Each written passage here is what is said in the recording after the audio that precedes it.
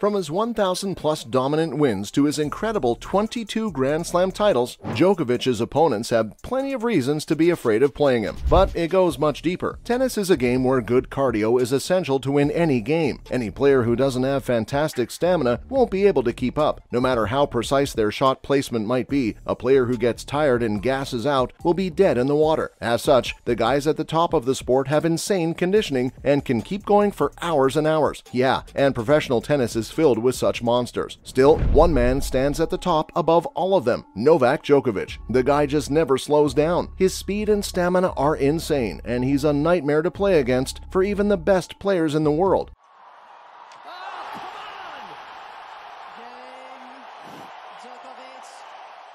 Yeah, I'm talking about guys like Nadal and Federer. It makes perfect sense that all of these guys are terrified of this man, but the fear goes deeper than just his cardio. There's something that lies below that and allows the Serb to just keep going his insane mental toughness. And when you think about it, tennis really is a game of mental fitness as well as physical fitness. He produces that. Khachanov laying into the ball, coming forward, yeah, guys who aren't tough mentally end up breaking and they give up. The Serbinator isn't cut from that cloth though, and the reason he can keep pushing and going all the way till the end at his 100% is because of this sort of toughness. No matter what happens, the Serb stays composed while the game is going on, and even if he has outbursts, his game doesn't change. This is very intimidating for his opponents.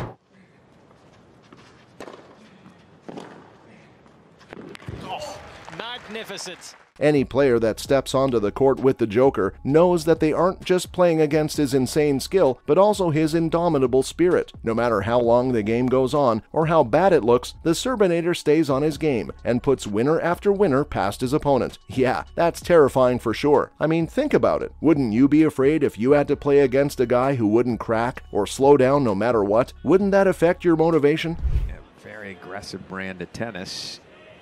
Thrown in the occasional drop shot lob combination. Honestly, I can't stress enough how insane this man's resilience is. I mean, just look at how he dealt with some truly horrible injuries. Yeah, he's so strong mentally that he manages some insane mind over matter business every single time he gets injured, to the point that his opponents have accused him of cheating.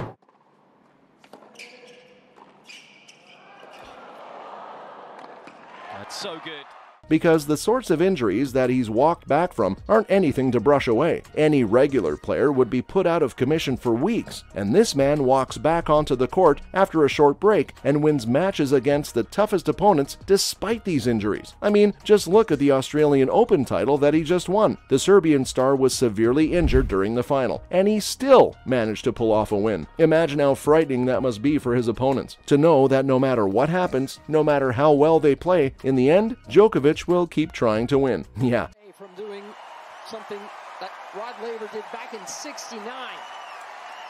One match away. Honestly, this level of mental toughness alone is terrifying, but as I said before, it's not the only weapon in the number one ranked player's arsenal. That's right, we have to go over his incredible fitness. And I've already talked about his conditioning specifically, but it's important to talk about his fitness separately as well, because it honestly is just beyond comprehension. This man takes care of his body in a way that few athletes do, even at the very top of the sporting world. Yeah,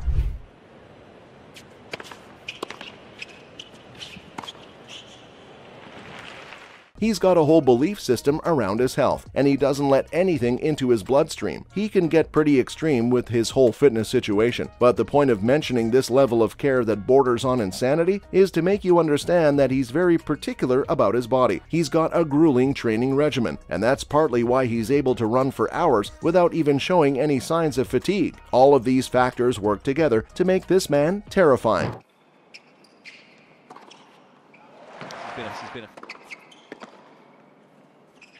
And as I said before, the most precise player in the world would fail without good fitness. Unfortunately, though, for Noel's opponents, the man doesn't just have good fitness, he's also unbelievably skilled. And he's honed these skills through his incredible discipline and relentless drilling. Yeah, the Joker has some insane power on his shots, and his precision is second to none. Now, pair this with the previously mentioned things like mental toughness and insane fitness, and you've got a monster on your hands.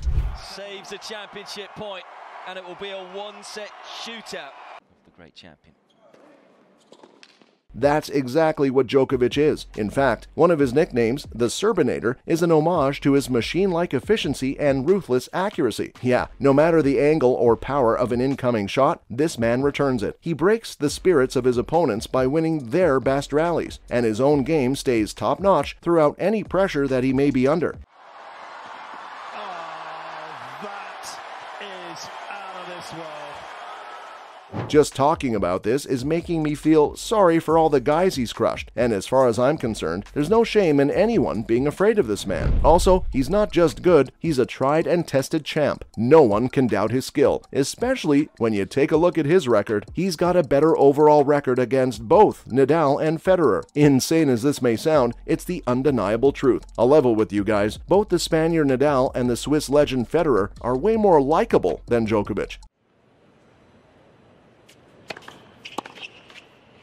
Game and second Novak. Djokovic has won. I mean, compared to them, Novak frankly just looks like a brat sometimes. And then, when you consider the epic rivalry turned friendship that these two legends gave us, yeah, no one wanted to accept for the longest time that maybe the Serb was the best out of the three headed demon that ruled over tennis. But now, after Roger has retired and the King of Clay is clearly past his prime, there's no denying it. Not only has Noel matched Nadal for the most Grand Slams ever, but it is a fact that throughout his career, the Spaniard has faced long losing sprees against the Serb.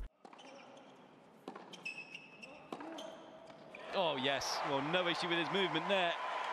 And the same goes for Federer. It's honestly not surprising that he has better overall records against these two, and it's a testament to his insane skill and talent. And you can bet that if the insane numbers that this man has put up aren't enough to scare the other pro players, the knowledge that he's better than the Swiss king and the king of clay is enough to demoralize the best of the best. All of these factors are terrifying for sure, and they add to one final weapon that this Serbian star has that makes the other pros fear playing against him.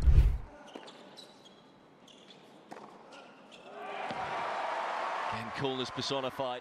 I'm talking about his incredibly powerful presence on the court. Yeah, because of all these other things, like the very fact of this man's greatness, he's got this intense aura that intimidates anyone unlucky enough to wind up playing him. Plus, Noel's been known to lean into his intimidating aura and he'll stare down opponents and try to get into their heads. That's scary, especially if you're aware that the guy you're up against is the most dominant player in the history of the sport.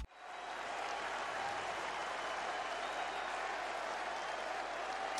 Well, I was ready. His intense focus and sheer will to win, and his confidence that his opponent will be crushed, leads to chills going down even the spectator spines. Joker is terrifying, and I feel sorry for all of his opponents. Those were the craziest reasons that tennis players are afraid to play against Novak Djokovic.